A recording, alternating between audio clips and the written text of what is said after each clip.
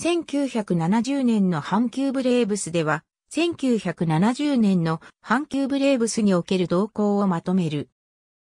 この年の阪急ブレーブスは、西本幸雄監督の8年目のシーズンである。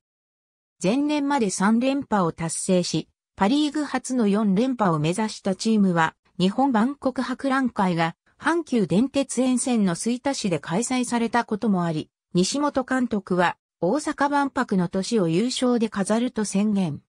しかし、投手陣の2枚看板で暗黒時代を支えたベテラン米田哲也、梶本隆夫が開幕から成績不振に陥り、チームも5月までは首位の東映から4.5ゲーム差の5位に低迷。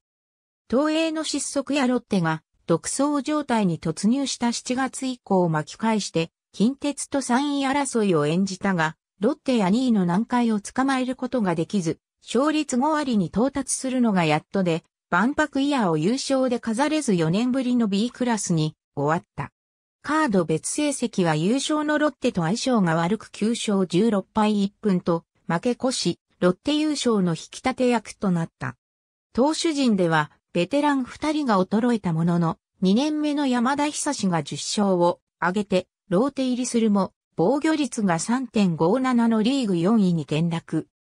打撃陣では5月から一番打者となった福本豊が2年目で初の盗塁王となり、前年ほとんど2軍で過ごした加藤秀治は代打で出場機会を伸ばすなど若手が台頭し、翌1971年のリーグ優勝につながった。ありがとうございます。